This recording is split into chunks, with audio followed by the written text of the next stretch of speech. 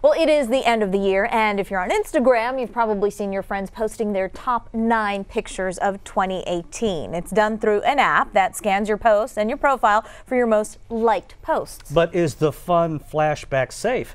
Eric, Eric Alvarez verifies where your information is going and why you might want to think twice about doing it.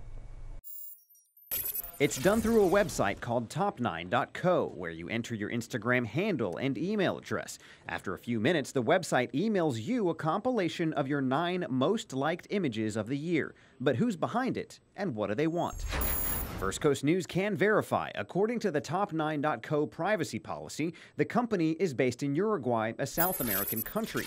The privacy policy clearly says the laws of Uruguay and other countries governing data collection and use may not be as comprehensive or protective as the laws of the country where you live.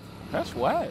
I met Instagrammers Kevin Watson and Sydney Brown, but the concern doesn't stop there. If you link Top9 to any of your social media accounts, the company can access your friends and contacts. The company says it's not in the business of selling your information, but in the very next paragraph admits it shares your information with other companies. Not only that, the company reserves the right in its sole discretion to modify or revise these terms at any time.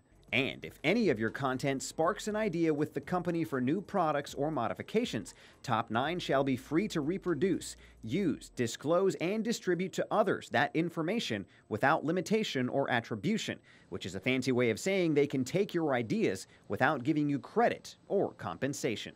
I don't want to do Top 9 anymore.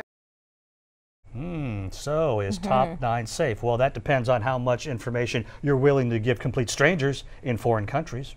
we can verify the top nine post might get you a lot of likes, but you might end up signing up for things that you definitely don't like. All right, do you have something you want to verify, fact checkers to verify? Email us at verify at khou.com.